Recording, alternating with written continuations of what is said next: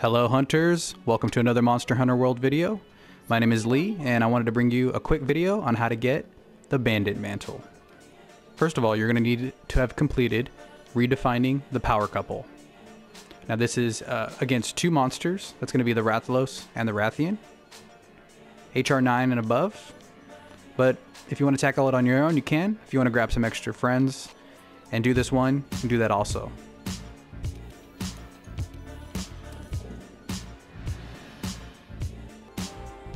Alright, so we've completed the mission here. Redefining the power couple, not too difficult at all. Got some sweet rewards for it.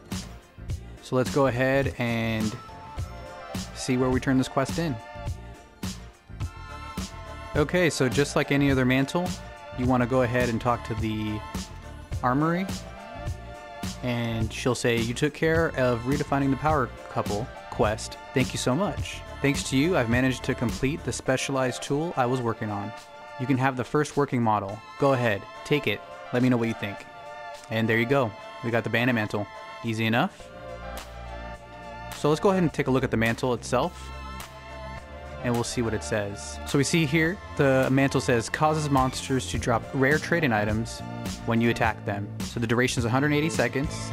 Takes 210 seconds to recharge. And let's go ahead and talk about why I believe this is probably the best way to get Zenny or money fast. So you go ahead and throw this mantle on, and while you're attacking the monster, they'll drop gold, golden items. You'll be able to grab those items.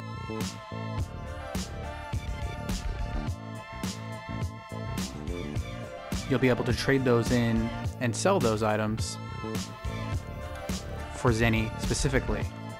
Anybody you are hunting with will also be able to pick up those items. And now those items are not able to be used for crafting armor, weapons, they are specifically for trading in for Zenny. Sometimes you can grab items that are worth a thousand, five thousand. It really is, in my opinion, kind of one of the fastest ways to get a lot of Zenny, especially if you guys combo these off of each other. So if you're in a party of four and each of you take turns using the mantle, you'll be able to get drops pretty much throughout the entire game and therefore you'll be able to grab a bunch of things that you can go ahead and sell and get a lot of Zenny. Alright, so there you go. That's the way to get the Bandit Mantle. Pretty easy. Just completing that quest, going to talk to the armory, grab the mantle, put it on during a hunt, trade off with your friends, and you guys can all get a bunch of golden trade-in items and get a bunch of Zenny. So that'll do it for today. If you found this video helpful, please leave a like. If you'd like to see other videos like this, maybe exploring how to get the other mantles or other ways to get currency, to get the Zenny faster, go ahead and leave a comment, let me know. And definitely subscribe if you'd like to see daily Monster Hunter videos. Well, until then, I'll see you guys tomorrow. Peace.